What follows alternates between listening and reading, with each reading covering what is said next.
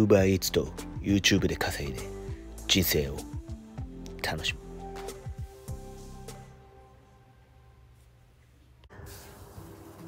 今9時半ですね。仕事行こうと思ったらね雨予報が今近づいてきてるってきて一部曇ってて一部晴れてるみたいな感じ。まあこの時間ねなってもすごい金額安いんでかなくてもいいかなって感じではあるんでまあ10時から11時ぐらいには出ようかなとは思うけどその時間も雨予報が出てる。まあどっちにしても雨雲次第だとは思うんだけどね。晴れてる部分に雨雲が来たらみたいな。まあ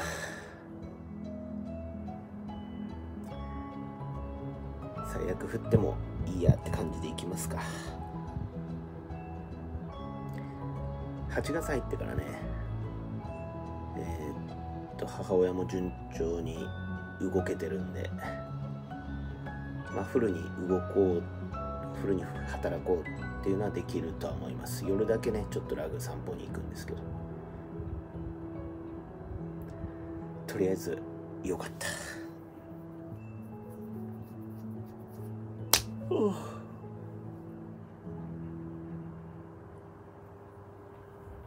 えっ、ー、と11時20分出発します。かなりゆっくりしちゃったよ。えっ、ー、と1軒目パンチョから打たせで500円ちょっと。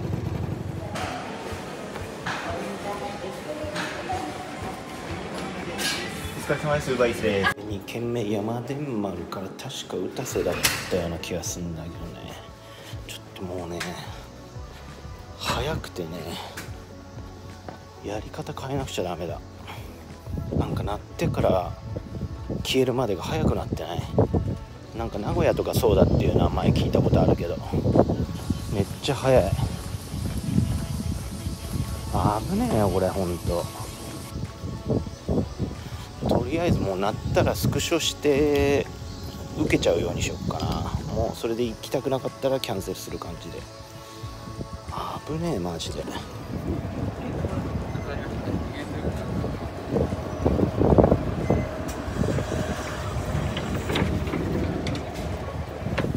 お疲れ様です、ウーバーイーツです。やべえな。15秒ぐらいじゃん。30秒もなさそうだな。恐ろしいな。何この変更。突然の雨来たよ。今橋の下に逃げてきたいやーなんかもうやりづれえななっても15秒もなかったな。10秒10秒ちょっとだね。10秒なのか。やりづれえマジで。危ねえほんとバイク運転してて。10秒そこらで判断しろっつうのは。何考えてんのかね。雨雲どこまでしばらく動けないなせっかく出てきたらこれだからな。えっ、ー、と3軒目チンタンタンからマサゴの5で4 1キロ700円。もう行くか。雨だけど。まあ濡れてもすぐ乾く格好ではいる靴以外。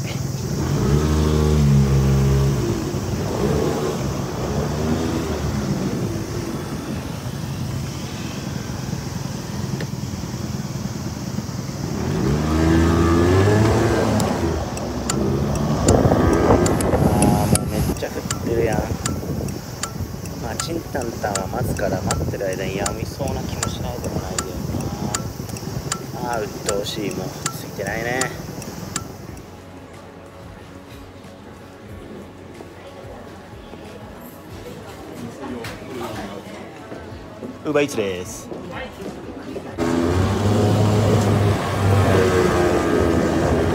えー4軒目マックの洋華堂から幕張寄って600円ちょっと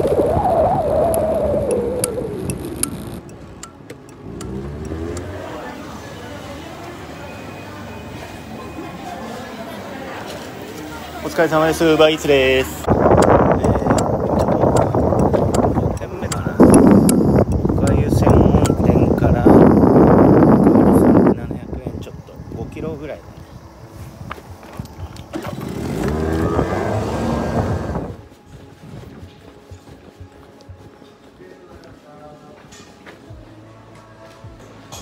イーツです。また雨降ってきた。だりーな。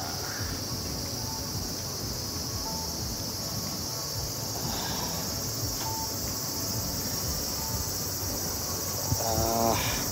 しかしほんとリクエスト画面マジやりにくい。今も1個取り逃した。やっぱ10秒はえぐいよほんと。事故るよこれほんとに。そんなすぐ止まれないって。何考えてんだほんとえ6軒目マック8日堂からマックハリ4 2キロちょっとの400円後半。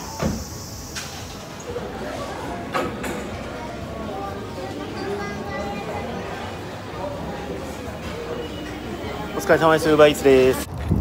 えー、7軒目ミッドツリーから磯部5で740円。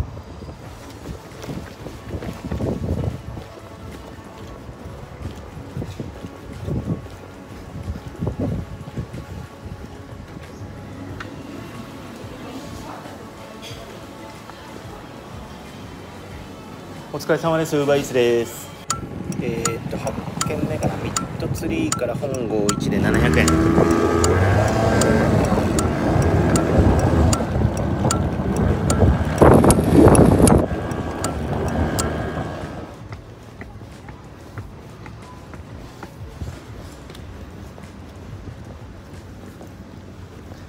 暑い疲れ様です。ウーバーイーツです。えー、と9軒目スバカマーナちょっと0 7キロ案件来たんで行きます。370円です。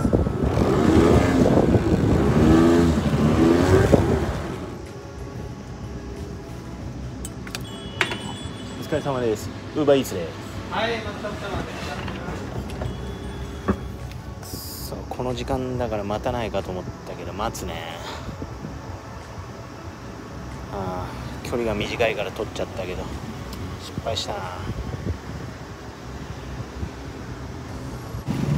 えー、っと10軒目マックの8日堂から幕張5500何十円か。もう早すぎて記憶できないね困ったもんだ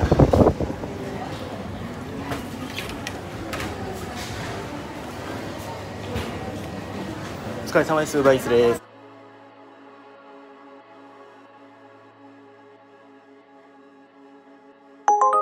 1 2 4 5 6 7 8 9 10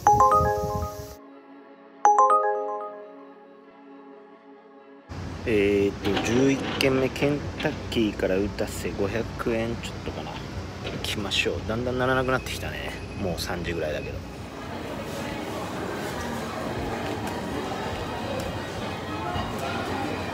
お疲れ様です。ウーバーイーツです。えー、っと12軒目ケンタッキーから幕張1 3キロで500円ちょっと。あーああ行きますか。だんだん涼しくなってきた。なんかもう日が落ちるの早くなってきたっていうかね涼しくなるのも早くなってきた。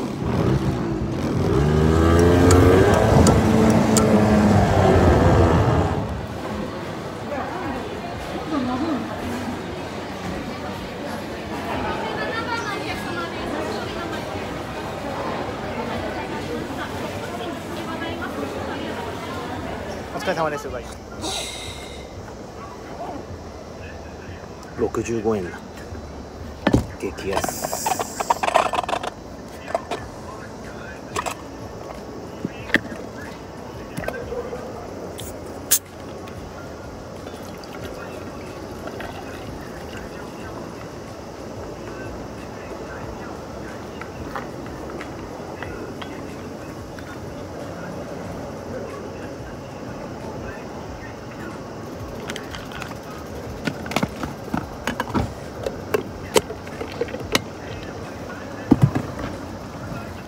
はあならない。ならなくなってきたんで飯でも食いましょう。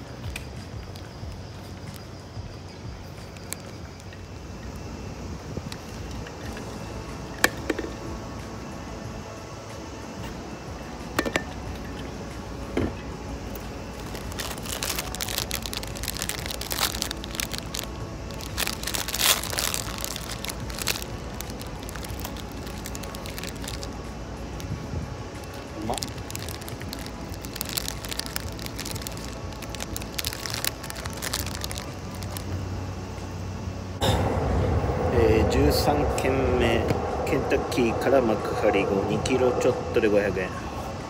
やっと500円の案件来た。どんどん安くなっていっちゃってる今。しかもなんかケンタッキーばっかしかなんないんだけど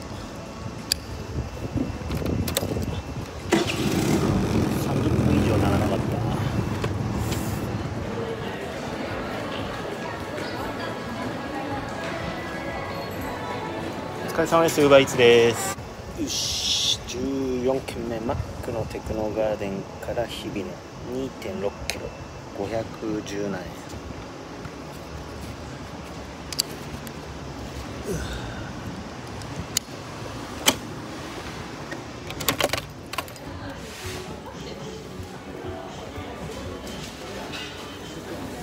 お疲れ様です。ウーバーイーツです。ホテル案件ですね。ホテルで外渡しになってるから多分大丈夫だと思う。指定してる場所も書いてあるから。えーっと次もマックのテクノガーデンで打たせで500円後半だった。お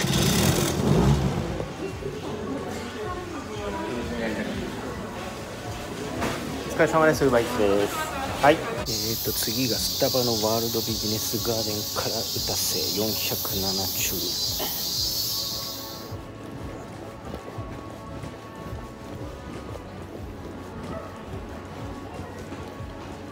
疲れ様です。バイツです。すごい。今打たせにいるんだけど打たせからマックの14号幕張に行ってで幕張1までで4 1キロで717円。行きましょう。よっぽど人がいないな。よくそんなの来たな。この前の690円超えたね。マックの最高額。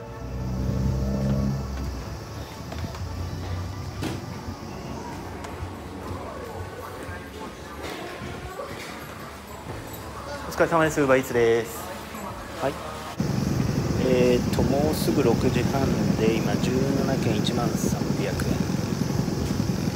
で8時からサッカーなんでそろそろ帰ろうかなって感じで今幕張から開幕通って家に向かってます。その途中でね打たせ案件とかあったら拾おうかなと思ってたけど今んとこないんでこのままなんなかったらそのまま帰ります。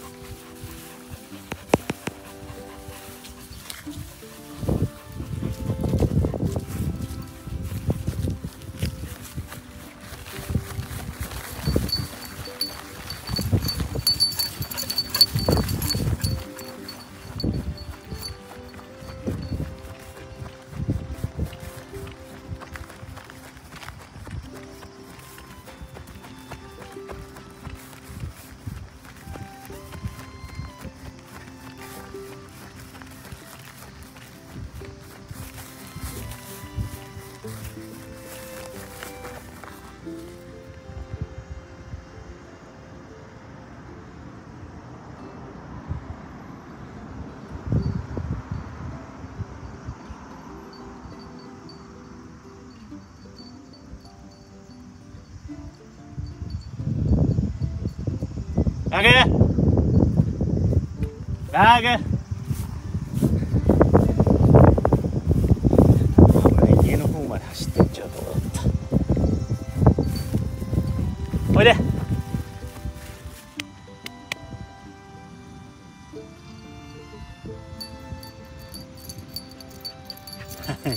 びっくりしたのいないから。なんで匂いでわかんないの。家まで走って帰ろうとしたんでしょ今ダメで道路出ちゃうから。はいおいで。はいお座り。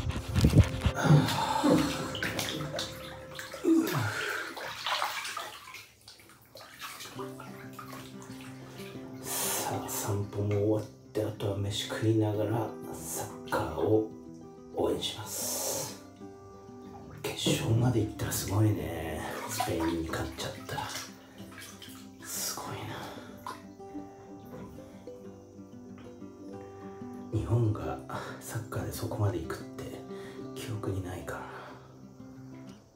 すごいねほんとこのベスト4に来てる時点でも相当すごいけどねほんと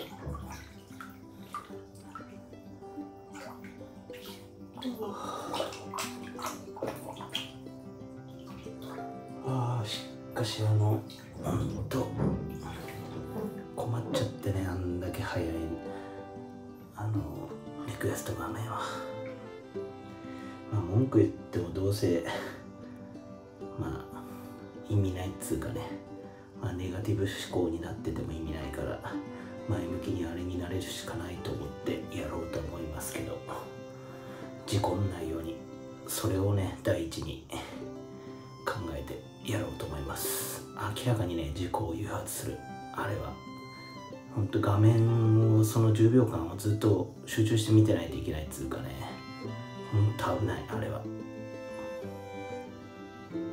バイクを止めてっていうのもそんなすぐ止められない場所ばっかだしバイク走っててね。でバイクだけじゃなくて自転車の配達員さんも大変だと思う。その場で急停止したとしても後ろから突っ込まれるかもしれないし素早く左右によってって感じで動いても、まあ、サイドミラーほとんどの自転車ってついてないからね。急に進路変えたりしたら後ろから突っ込まれるかもしれないしね。いろんな場面でね事故を誘発する。お客さんの家の前行ってお客さんに渡してる最中になったりとかねなんかもう慌てる場面が増えそう。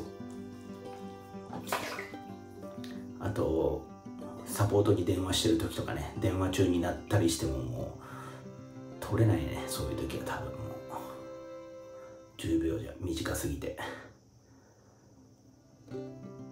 YouTube 見てる時に画面変えて撮るっつうのも結構バタバタして今日とかね大変だったけど。いやあの短さはないよほんと。ほんと危ない。けどちょっとね慣れようと思います。とにかく事故に気をつけてまあ最悪諦めてね無理に取らなくてもいいやって感じで。そういうゆとりの気持ちでやっていくしかないですね。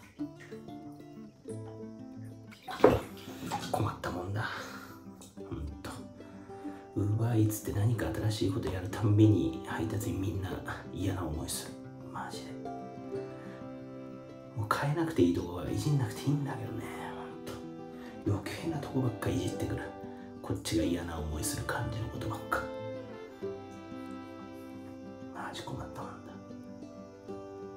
まあ最悪あれを良しと考えるんであればあんだけサクサクでみんな取り逃していけばその注文の料金は上がっていく可能性があるっていうのをプラスに考えるしかないな。